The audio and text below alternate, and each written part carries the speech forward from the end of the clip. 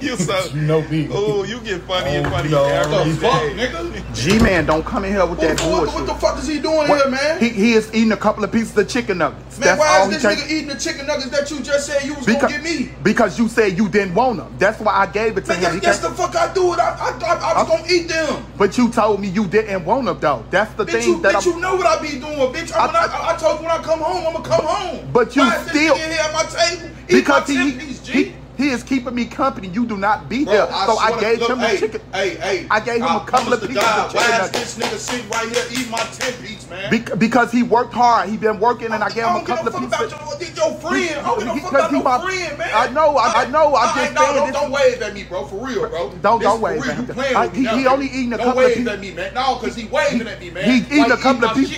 He eating a couple of pieces of chicken. I'm saying, what you and got something going on? Why would I have something going on? I'm saying, y'all got something going on. Hey, bro. Come Why on, man. Come on, rise up out of here, man. Respect my respect my crib, man. He don't want to. I real, bro. Take that shit down. Eat that shit in the car, man. But he don't have For to. Real, nah, ain't no, though, he, he gonna go eat that shit in the car, man. He only came to eat a couple of pieces of chicken nuggets.